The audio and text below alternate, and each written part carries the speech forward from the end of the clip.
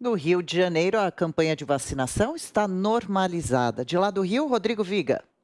A campanha de vacinação na cidade do Rio de Janeiro está sob controle equilibrada, segundo a prefeitura, apesar de muitas cidades e capitais brasileiras terem apresentado problemas, escassez de imunizante ao longo dos últimos dias. De acordo com autoridades locais, há em estoque vacina suficiente pelo menos até a semana que vem, para dar continuidade à campanha de imunização. Por aqui estão sendo vacinadas as pessoas com menos de 50 anos de idade. A perspectiva é que até 31 de agosto, todos os adultos, ou seja, todas as pessoas com 18 anos ou mais de idade, tenham tomado pelo menos a primeira dose da vacina contra o coronavírus. A cidade do Rio de Janeiro já contabiliza quase 2 milhões e 800 mil pessoas imunizadas com pelo menos uma dose. População adulta é estimada em 5 milhões e 200 mil pessoas, mas isso tem como base dados antigos, último censo do IBGE.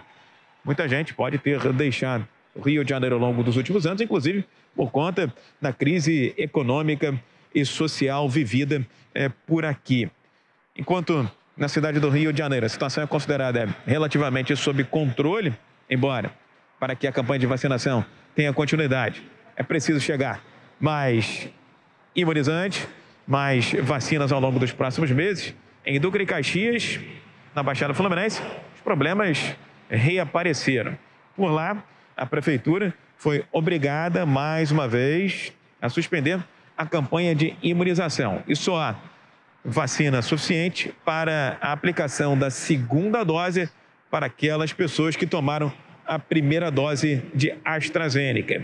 Inclusive, o governo do estado do Rio de Janeiro começou a distribuir nesta quarta-feira mais de um milhão de vacinas produzidas eh, pela Fiocruz para os 92 municípios do estado. Do Rio, Rodrigo Viga.